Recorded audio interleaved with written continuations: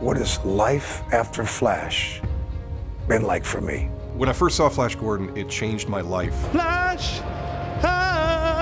I love everything about Flash Gordon. I remember every single bit about that film. I would have been pretty little the first time I saw Flash Gordon. I love when they put the hand in the thing and the bug bit him. That frightened me as a kid.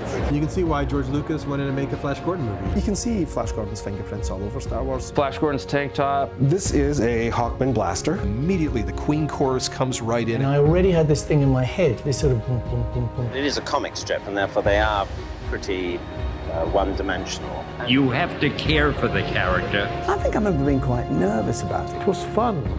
I couldn't breathe. The only comic book I saw was at uh, Dino's house. Melody, it's Dino. So we look around for one years.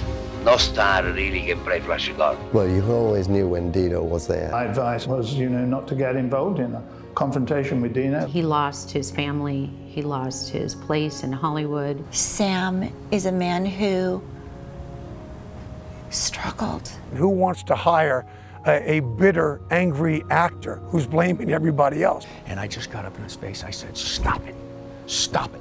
You know, all the tabloids are coming out, you know, saying, Oh, where's Flash Gordon been? And we had little kids, and I said, You've got to do something else. Our weapons are usually concealed. It's harder for them to go and explore other characters because everybody just wants what they love. You know, a lot of people say, oh, you got to separate your personal life from your movie life. I don't know how you do that. They became those characters and they were iconic to the, to the world. It's much better to be typecast than to be miscast. Sam is the definitive Flash Gordon. No one could play it better. It's one of those uh, iconic roles that won't, they, they stand the test of time. People dying on their deathbeds. Please say Gordon's alive. Gordon's alive! Hallelujah!